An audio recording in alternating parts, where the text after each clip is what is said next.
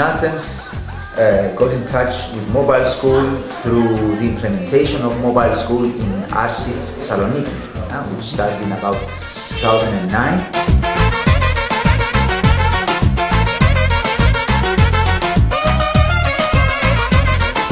Arsis was founded in 1992. It's an NGO, uh, and uh, our mission is to support uh, young people and children that face social challenge.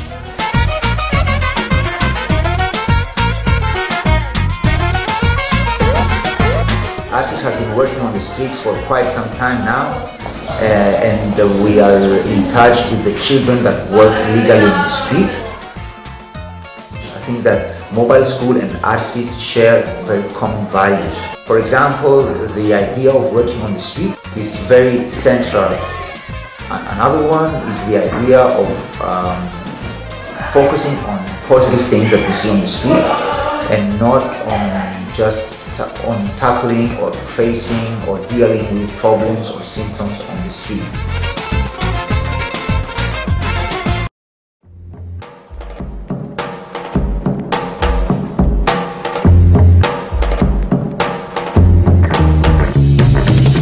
With a few kids, even with a lot of kids, we had fun.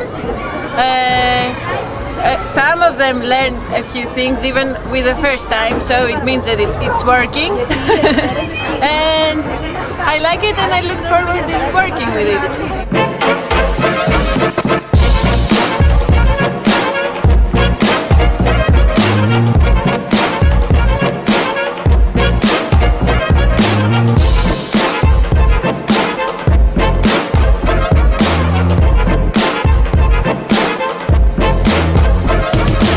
There aren't a lot of children sleeping on the street here in Athens. So you don't see a lot of children uh, sleeping outside uh, at night. They work during the day, most of the day, but then they retire to places where they sleep at night. This doesn't mean that the sleeping conditions are good. So we have uh, a lot of children uh, sleeping at night in uh, small places and in very big number. But my main message is well done, well done. To even be there is very important and to know that 150 at least active citizens who spend an hour outside to give a message is a big deal.